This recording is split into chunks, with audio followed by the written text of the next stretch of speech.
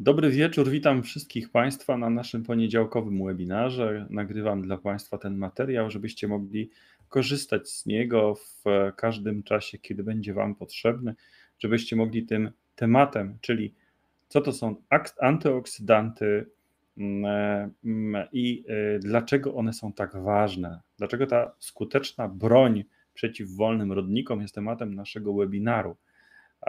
I y, tak jak y, można by powiedzieć, temat wydaje się być dla wielu osób może mało interesujący, ale będę to podkreślał dzisiaj kilkukrotnie, Szanowni Państwo.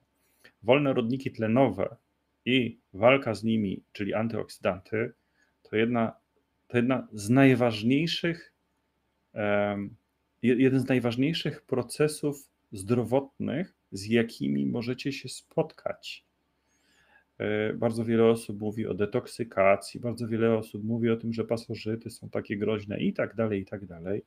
Tylko czy zastanawialiście się, dlaczego te toksyny i w jaki sposób negatywnie wpływają na nasz organizm, albo w jaki sposób pasożyty negatywnie wpływają na nasz organizm? Co one robią? One produkują różne substancje chemiczne, które mogą niszczyć nasz organizm. Na przykład jeżeli ktoś zachoruje na boreliozę, to będzie to choroba toksyn, które produkują krętki boreli, które będą wywierały negatywny wpływ na nasz organizm. Albo czy pamiętacie COVID? Co to była burza cytokin? To jest tak gigantyczna ilość różnych substancji chemicznych wydzielana w organizmie, że jeżeli proces przekroczył taką granicę bezpieczeństwa, to można było zejść z tego świata z powodu niewydolności wielonarządowej, ponieważ nasz organizm przestawał kontrolować wolne rodniki tlenowe. Więc y, może temat od strony takiej naszej codzienności, że tam kogoś bolą stawy, to coś, coś na te stawy by się przydało, albo nie wiem, e, ktoś ma jakieś inne problemy, że tam coś na skórze ma jakiś wyprysk i trzeba by było mu pomóc, bo to jest najważniejsza rzecz na świecie.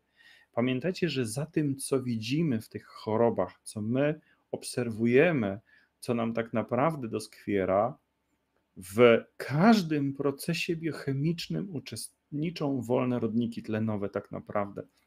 W związku z tym one mogą nasilać chorobę, bądź jeżeli poradzimy sobie z tymi wolnymi rodnikami, możemy sobie bardzo pomóc. No dobrze, to tyle wstępu. Szanowni Państwo, Nazywam się Janusz Wietycha, jestem lekarzem, dietetykiem i dyplomowanym fitoterapeutą, zielarzem. W swojej pracy staram się łączyć te trzy techniki. Myślę, że jest mi łatwiej, dlatego że jako lekarz kocham medycynę klasyczną i jednocześnie ja troszeczkę inaczej do niej podchodzę.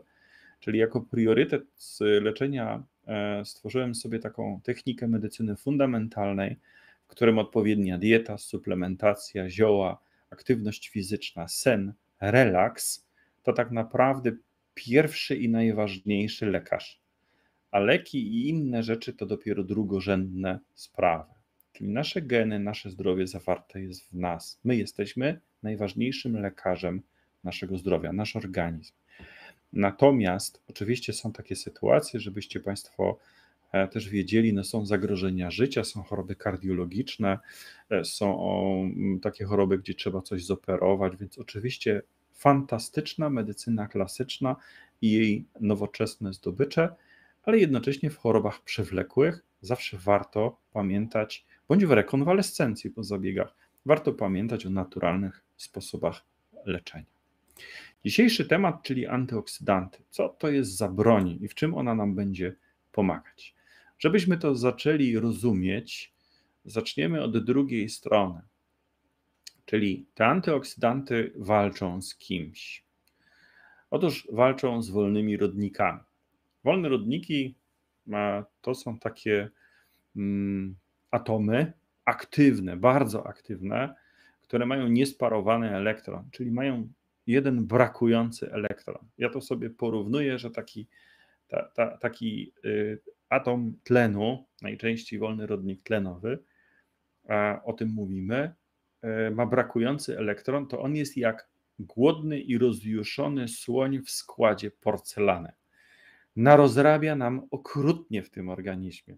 poniszczy nam różne rzeczy. Przede wszystkim on nam zniszczy nasz kod genetyczny w różnych komórkach i może doprowadzić do powstania na przykład choroby nowotworowej. A więc walka z wolnymi rodnikami jest jedną z form zapobiegania chorobom nowotworowym. Dlatego to jest takie ważne. Jak powstają wolne rodniki? Jest bardzo wiele różnych procesów, ale patrząc z perspektywy naszego organizmu i wpływu zewnętrznego środowiska, to może być zanieczyszczenie powietrza, czyli spaliny, palenie papierosów, tak, ultradźwięki, promieniowanie różnego rodzaju, jonizujące i nadfioletowe. Ale uwaga, szanowni państwo, wolne rodniki powstają również w naszym organizmie naturalnie Otóż wyobraźcie sobie, że białe ciałka krwi używają wolnych rodników jako takiej armaty do walki z patogenami. Nasz organizm produkuje zatem te wolne rodniki również wtedy, kiedy chce zwalczyć infekcję. A więc to są takie systemy sprzężeń zwrotnych. To wszystko musi być w równowadze. Natomiast antyoksydanty to są takie związki, które mają właściwości ochronne przed nadmiernym utlenianiem się naszych komórek.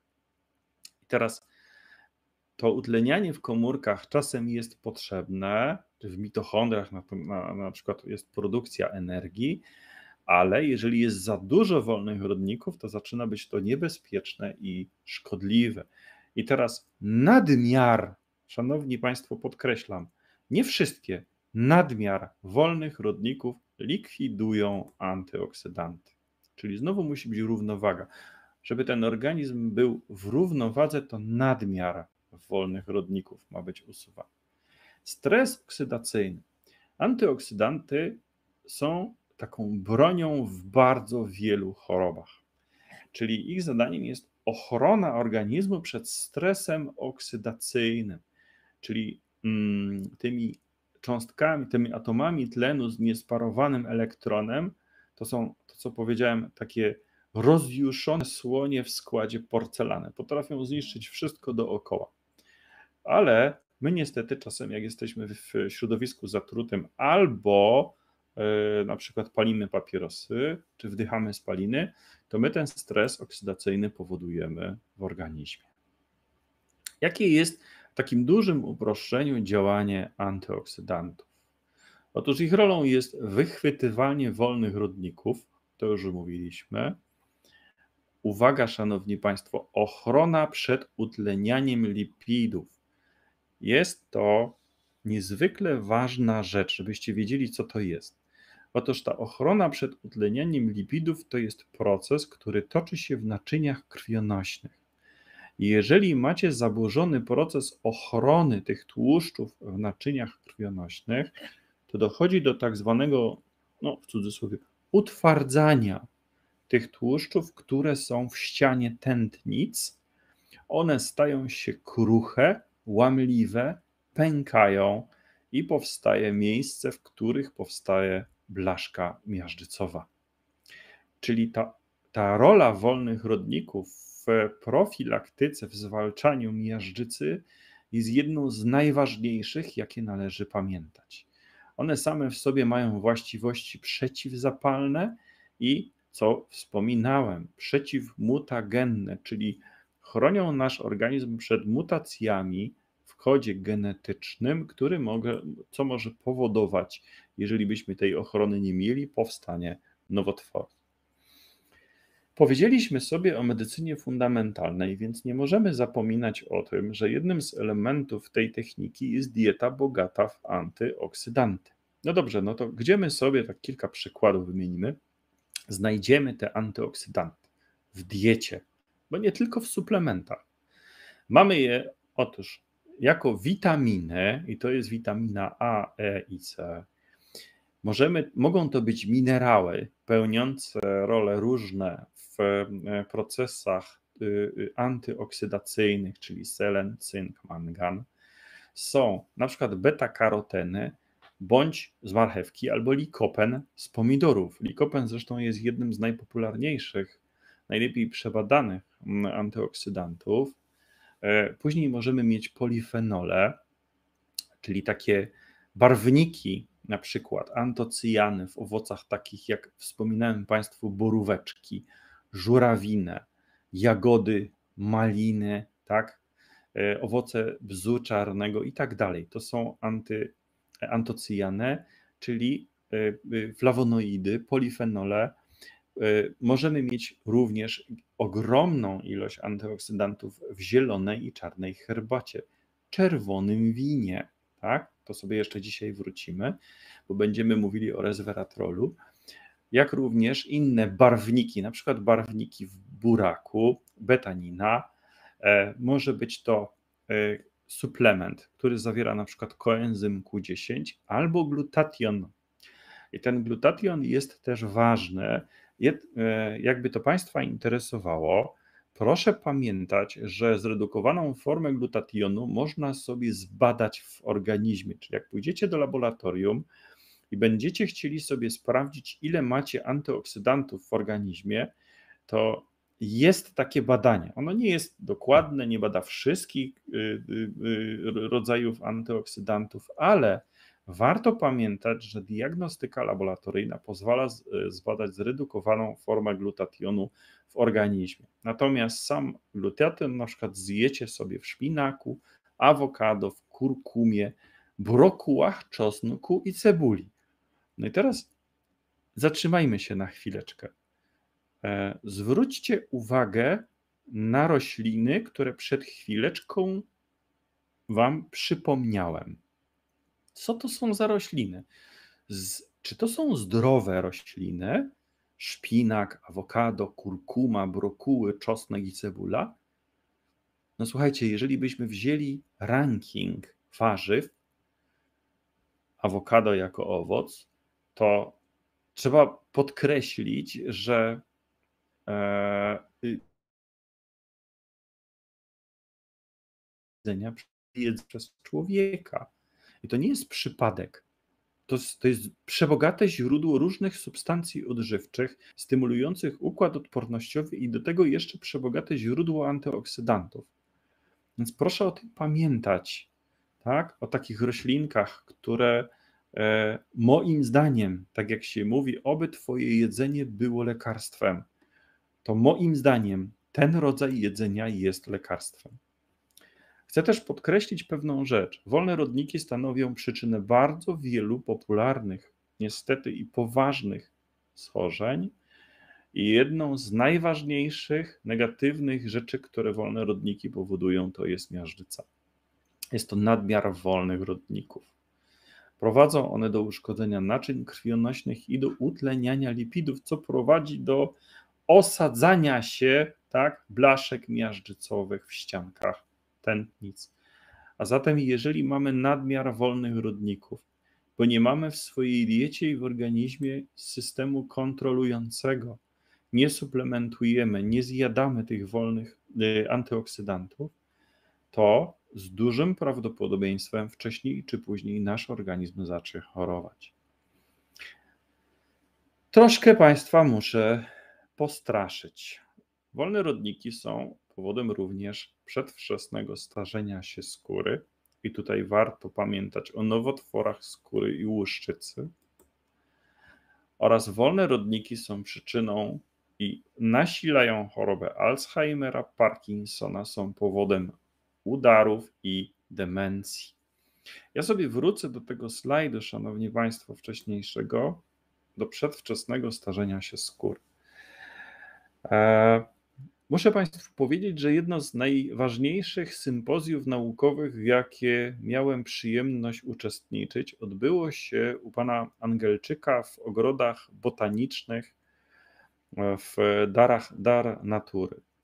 E, to jest niezwykła postać polskiej fitoterapii. To jest człowiek, który e, zbudował ogród botaniczny, a właściwie zbudował ogród razem z zabudowaniami E, na Podlasiu i muszę Państwu powiedzieć, że zasłużył na wielkie pochwały.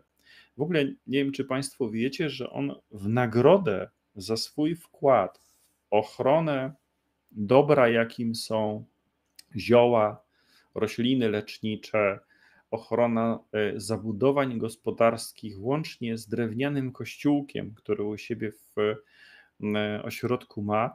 On dostał tytuł, e, kategorię ogród botaniczny w nagrodę. To jest fantastyczne miejsce, muszę Państwu powiedzieć i zachęcam, kto z Państwa kocha zioła, rośliny, musi tam pojechać. Ale teraz wracając właśnie do tego sympozjum. Byłem na, kiedyś na takim sympozjum pana Angelczyka, organizowanym raz na jakiś czas przez środowisko zielarzy fitoterapeutów w Polsce i tam był jeden z najważniejszych wykładów w moim życiu. Uczestniczyłem jako słuchacz w wykładzie, który prowadziła pani doktor dermatolog Dlaczego dzisiaj chcę Państwu o tym powiedzieć? Dlatego, że tam pani doktor dermatolog pokazywała wyniki badania przeprowadzonego na bliźniakach jednojajowych. Bliźniaki jednojajowe, jak wiecie, mają identyczny kod genetyczny i de facto są identyczni. I dlaczego to jest takie ważne? No bo jeżeli, nie wiem, jednego bliźniaka zostawicie na Ziemi, a drugiego puścicie w kosmos i on sobie tam będzie się poruszał z dużymi prędkościami, to jak może część z Państwa wie, e, będą, będą różnice w przebiegu ich czasu. Ale jak weźmie, zejdziemy trochę na Ziemię i jednego z tych bliźniaków dacie i będzie dbał o siebie, będzie dbał o swoją skórę, będzie miał zdrową dietę a drugi bliźniak będzie rozrabiał, palił papierosy, nie będzie dbał o siebie, y, będzie się opalał dużo i tak dalej, czyli będzie wystawiony na działanie szkodliwych czynników, to mając bliźniaki jednojajowe w trakcie badania, będziecie w stanie de facto zobaczyć, jakie są konsekwencje dla waszego wyglądu i dla waszego zdrowia tego, jak się dobrze traktuje organizm i jak się źle traktuje organizm. I takie badanie przywiozła pani doktor dermatolog. Słuchajcie, tam było ileś tych osób, bliźniaków jednojajowych, gdzie porównywano ich wygląd, zdrowie w zależności od środowiska i zachowań, jakie prowadzili. I tam były bliźniaczki, kobiety, już w wieku średnim, w którym jedna z tych kobiet o siebie dbała, a druga właśnie niestety o siebie nie dbała, paliła papierosy, za dużo się opalała na słońcu i tak dalej, i tak dalej. Jaki był efekt? To nawet nie trzeba było komentować, słuchajcie, bo to było widać. Ta y, pani, która o siebie dbała, wyglądała naprawdę świetnie jak na swój wiek. To już były kobiety w wieku lat około 60, więc wiecie, już trochę świata zwiedziły, już trochę przeżyły, więc można było naprawdę zobaczyć z perspektywy dorosłej, dojrzałej kobiety w wieku średnim, jak ten organizm wygląda. I jedna z nich wyglądała świetnie. Natomiast ta druga, która o siebie nie, nie, nie dbała, wyglądała jak zniszczona staruszka. Dlaczego dzisiaj o tym mówię? Dlatego, że obie te kobiety żyły w różnym środowisku, i ta zniszczona staruszka po prostu miała nadmiar wolnych rodników i była pod wpływem niszczących czynników środowiska. To jest jedno z najważniejszych i zarazem najprostszych i najbardziej genialnych badań, jakie w życiu widziałem. W badaniach klinicznych robi się zawsze tą grupę, którą się bada, no i robi się jakiś punkt odniesienia, czyli tą taką grupę, drugą tak zwaną zaślepioną. Słuchajcie, tu było to najdoskonalej pokazane. Tu były bliźniaki jednojajowe. Jeden był zdrowy, drugi był chory. I można było z dużym prawdopodobieństwem określić, co było powodem ich dolegliwości. I teraz przypomina mi się ten slajd, który Państwu pokazuję. Przedwczesne starzenie się skóry, łuszczyca, nowotwory, Alzheimer, Parkinson, udary demencja, zawał mięśnia sercowego i tak dalej. Za to odpowiadają wolne rodniki. Ja wiem, że temat może być, wydaje się być albo za trudny, albo nawet wy, dla wielu z Państwa nudny, ale wierzcie mi z perspektywy mojej lekarskiej, fitoterapeuty i dietetyka, jedno z najważniejszych zagadnień medycyny e, środowiskowej, chorób wewnętrznych i chorób przewlekłych oraz nasilających się chorób autoimmunologicznych A zatem stosowanie antyoksydantów jest jedną z najważniejszych rzeczy w walce o nasze zdrowie. Wolne rodniki nie niszczą tylko mózgu i naczyń krwionośnych, potrafią zniszczyć nerki, trzustkę, żołądek, dwunastnicę i powodować cukrzycę. Są powodem nowotworów, zwłaszcza nowotworów piersi, piersi płuca, układu kostnego i narządów rozrodczych. Uwaga, wolne rodniki, tak? I jest coś, o czym już dzisiaj wspominałem, czyli miażdżyca. Wolne rodniki uszkadzają ścianę naczyń krwionośnych. Szanowni Państwo, jednym z najbardziej e, destrukcyjnych substancji, które potrafią niszczyć organizm, są toksyny w połączeniu z węglowodanami w dużej ilości. Jak połączycie jakieś świństwo, które jest trucizną, i jeszcze przegryziecie to cukrem, to gwarantuję Wam, że można by było przyłożyć słuchawkę do Waszych naczyń krwionośnych i byłoby słychać, jak pękają. To jest aż tak spektakularny proces. Proszę o tym pamiętać. A zatem walka z wolnymi rodnikami jest jednym z kluczy do zdrowia. No dobrze, to teraz przejdźmy do rozwiązań. Przygotowaliśmy dla Was, jak zawsze, propozycje mieszanek, które możecie zastosować w Naturday w walce z wolnymi rodnikami. Macie kilka różnych możliwości. Czyli macie różne punkty uchwytu, w zależności od tego, czy potrzebujecie mniejszą lub większą dawkę antyoksydantów. Może ktoś po prostu się zdrowo odżywia i chce sobie tylko dołożyć jakiś suplement przewlekle, żeby dbać o zdrowie, albo ktoś jest po prostu schorowany i musi zastosować dużą dawkę anty, antyoksydantów. Jeżeli chcecie zastosować dużą dawkę antyoksydantów, to możecie łączyć na przykład syrop optioksy z resveratrolem albo z e, e, innymi antyoksydantami, zaraz Państwu pokażę. Syrop, jak wiecie, ma mm, tą postać, on jest w syropie z jakiegoś powodu. Jeżeli weźmiecie pod uwagę, że można stworzyć kapsułki, zawsze staram się Państwu o tym przypominać, i ktoś robi kapsułki, a ktoś inny robi syrop to w Naturday macie kapsułki, które zawierają silne stężone ekstrakty roślinne i syrop, który jest robiony po to, żeby dostarczyć do organizmu wielokrotnie większą dawkę. Porównam wam to do czegoś. Nie musicie wypijać ogromnej ilości syropu, jeżeli macie silną E, aktywną bardzo substancję, na przykład przeciwzapalną, w kapsułkach, które na przykład są podawane u osób, które bolą stawy. Ale jeżeli chcecie odbudować te stawy, to, muszy, to musicie dostarczyć do organizmu dużo substancji budulcowych, czyli musicie podać syrop. Dlaczego? Bo jedna kapsułka to jest powiedzmy, że pół grama w dużym uproszczeniu. Natomiast jedna e, porcja e, syropu to jest 30 ml, więc jakbyśmy tak porównali wielkość mniej więcej kapsułki i wielkość 30 ml, czyli dwóch łyżek stołowych, to jedna porcja kapsułki jest 60 razy mniejsza od syropu. Proszę pamiętać, kapsułki są stworzone po to, bo tam jest substancja zagęszczona i zawiera substancję aktywną, która ma pobudzać do czegoś organizm, a syrop jest po to, żebyście wypijali dużo substancji albo budulcowych, albo tak jak w przypadku optioksy, dużo antyoksydantów. Dlatego ta postać jest w syropie.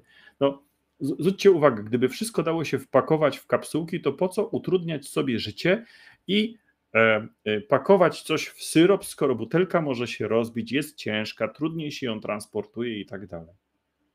Więc myśmy nie poszli na łatwiznę. Wiemy, że musimy Wam dostarczyć dużą dawkę antyoksydantów. Tych kapsułek musielibyście zjeść naprawdę bardzo dużo, żeby dostarczyć taką ilość. A tu macie ekstrakt z grejpfruta, awokado, czepotę, pałdarko, aksamitkę, gdzie macie luteinę i zaaksantynę. wspaniałą algę brązową Eklonia kawa, ekstrakt z pomidora zawierający likopen i jeszcze winorośle zawierający antocyjanę. E, także y, to jest, y, szanowni państwo, też no ta, ta sztuka tworzenia, ta nasza pasja w Nature Day, gdzie mm, jest pewne realne uzasadnienie, dlaczego Państwu dajemy syrop, a nie kapsułkę. Z tych antyoksydantów a, fantastyczne jest awokado. Fantastyczne. E, czasem bardzo drogie, to zależy od sezonu, różne są sytuacje. Tutaj macie ekstrakt z awokado, zawiera niezwykle cenne rzeczy, na przykład glutation, luteinę, zaaksantynę i skwalen, tak? oprócz witamin oczywiście. Macie aksamitkę, czyli luteinę i zaaksantynę, to jest e, skarbnica tych dwóch antyoksydantów, tak? Szczególnie polecana osobom, których wzrok, mm, powiedzmy, że szczególnie e, idąc w parze z wiekiem się trochę popsuł, albo występują jakieś zwyrodnienia plamki żółtej, tak? To mamy w oksy. Mamy czepotę puszystą, która jest takim regulatorem układu odpornościowego, ale należy też do systemu adaptogenów, czyli mm, roślin zawierających substancje zwiększających odporność na czynniki środowiskowe. Dokładnie to samo pałdarko, tak? Czyli tutaj jest te, też takie szerokie działanie. Tutaj jeszcze macie, proszę pamiętać, to jest tu szczególnie podkreślone, pra, utrzymanie prawidłowego ciśnienia krążenia, szczególnie w mikrokrążeniu, w kapilarach. Tak? E, oczywiście winorośl, które. E, e, proszę pamiętać, czym się różni zjedzenie winorośli od ekstraktu z winorośli, żebyście pamiętali. Czy nawet wino. Wino jest formą ekstraktu. Czyli ktoś wyciągnął z tej rośliny substancje aktywne, tak? Zrobił sobie wino. I teraz e, tak naprawdę proces fermentacji spowodował, że z tej rośliny wyciągane są substancje aktywne. Myślę, że słyszeliście, bo nieraz się o tym mówiło, o paradoksie francuskim. Zwróćcie uwagę, że w paradoksie francuskim udowodniono, że picie czerwonego wina chroni osoby, które piją czerwone wino przed antyoksydantami i zmniejsza prawdopodobieństwo zawaru, udaru mózgu i miażdżycy. No, wszystko byłoby pięknie, gdyby jeszcze w tym winie nie był alkohol. A picie alkoholu codziennie kończy się bardzo źle. Także na przykład osoby, które nadużywają wina, pomimo tego, że zawiera bardzo silne substancje antyoksydacyjne, nie umrą może na miażdżycę, albo na zawał, albo na udar mózgu, ale umrą niestety na marskość wątroby albo na nowotwór wątroby. Proszę o tym pamiętać. No dobrze, no ale to jakiś wniosek trzeba by było wyciągnąć z tego. No to co z tymi winogronami? No pić to wino, czy zjadać winogrona, jak chcemy się dobrze czuć? No nie. Po to są tak zwane ekstrakty suche, bądź ekstrakty, jakie mamy w Nature Day, żebyśmy, my, my wyciągamy te substancje z tej rośliny, usuwamy alkohol, tak, możemy zrobić ekstrakt suchy, albo robimy ekstrakt, który jest ekstraktem suchym i zawieszamy go w syropie, jakim jest optioksy i dostarczamy wam te same substancje, które macie w czerwonym winie, tylko bez alkoholu. Wiem, można by było zażartować i pozwolę sobie, szanowni państwo, na ten żart, że wszystko jest dla ludzi.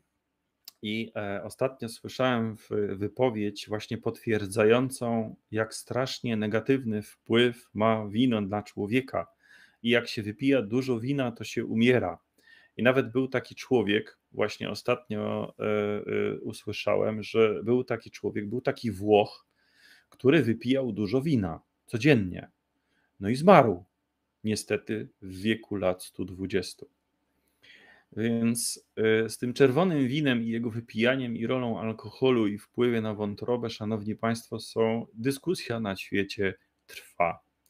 Do czego ja państwa zachęcam? Do tego, żebyście pamiętali, że winorośl jako roślina zawiera niezwykle cenne substancje przeciwutleniające ekstrakt z winogron bez alkoholu jest w syropie optioxy.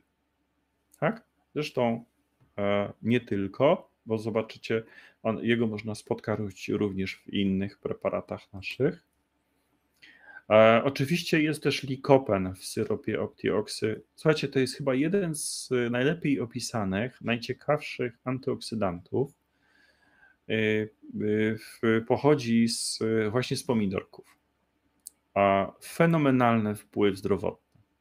No dobrze, ale mamy nie tylko syrop, mamy również kapsułki. Dla kogoś, kto potrzebuje mniejszą dawkę antyoksydantów, wpadliśmy na pomysł, żeby te antyoksydanty trafiały we właściwe miejsce jak najszybciej. No i wyciągnęliśmy bardzo silne antyoksydanty, takie jak luteina, witamina A, E i selen. I co zrobiliśmy? Wpakowaliśmy je w liposomy. Szanowni Państwo, liposomalna postać luteiny, witamina A i, se, A i selen to są substancje aktywne, które przenoszone są do miejsc, gdzie są szczególnie ważne i szczególnie potrzebne. Taka jest rola liposomów. To są nośniki y, przenoszące w środku najcenniejsze substancje odżywcze.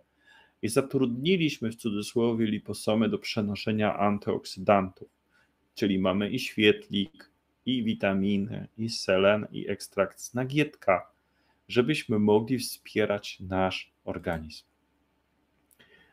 No i ostatnia rzecz, tak jak wspominałem, mamy też ekstrakt z nasion winorośli, tak? Zobaczcie, tu już jest postać liposomalna resveratrolu. Dlaczego ta postać jest ważna? Kiedyś miałem przyjemność rozmawiać z jedną z moich pani profesor, osób, e, od których całe życie się uczyłem i będę uczył, wspaniała wiedza. I pani profesor, jak przyjechałem kiedyś do niej z takim zwykłym resveratrolem w proszku, to mi powiedziała: No wie pan, doktorze, wszystko jest piękne, ale resveratrol będzie aktywny dopiero wtedy, kiedy wejdzie w odpowiedni szlak metaboliczny. On musi dotrzeć do określonego miejsca. I muszę panu powiedzieć, panie doktorze, że badania pokazują, że jeżeli połączy pan resveratrol z alkoholem, to on najszybciej wchodzi w szlak metaboliczny, który powoduje właśnie te dobroczynne działania. Ale picie alkoholu, szanowni państwo, szczególnie przewlekłe, niestety może powodować śmierć z powodu marskości wątroby i raka wątroby. Dlatego znowuż zatrudniliśmy liposomy. Po to właśnie jest ekstrakt liposomalny z resveratrolu, ekstrakt z nasion winorośli, żebyście Państwo mogli cieszyć się resveratrolem i jednocześnie nie musieli popijać go alkoholem. Jest ekstrakt z rdestowca również. E, proszę pamiętać, rdestowiec japoński e, jest zresztą w Optiborelia. Wspaniałe źródło e, substancji aktywnych, między innymi resveratrolu, tiamina, tak, czyli witaminka z grupy B oraz proantocyjanidyny, czyli antyoksydanty, o których cały czas właśnie rozmawiamy, jakaż jest ich wspaniała i niezwykle cenna rola. Także, szanowni Państwo, kończymy nasze dzisiejsze spotkanie. Ja jeszcze raz przypomnę o tym naszym, o tej naszej propozycji. Możecie Państwo sobie je łączyć one są w różnych postaciach, jest i syrop, i liposomę, po to stworzone, żebyśmy szybko mogli dostarczać do organizmu dużą dawkę antyoksydantów. Przypominam również to, że antyoksydanty są, szanowni Państwo, i będę to po raz ostatni podkreślał, jednymi z najważniejszych substancji zdrowotnych obecnie dostępnych na świecie. Jeżeli chcecie wyprowadzić kogoś z choroby przewlekłej, a ja nie mówię o jakimś ostrym stanie, ale z choroby przewlekłej, albo jak już zakończył się proces ostrej choroby i chcecie wyprowadzić tego człowieka do zdrowia, żeby był jak najzdrowszy i jest w okresie rekonwalescencji, nie wyobrażam sobie prowadzenia takiego pacjenta bez antyoksydantów. Podkreślam to kategorycznie. Życzę Państwu miłego wieczoru. Pięknie dziękuję za uwagę. Życzę sukcesów. E, jeszcze troszeczkę lata przed nami. uważajcie na nadmiar słoneczka. Także wszystkiego dobrego i, i do zobaczenia za tydzień. Dziękuję pięknie.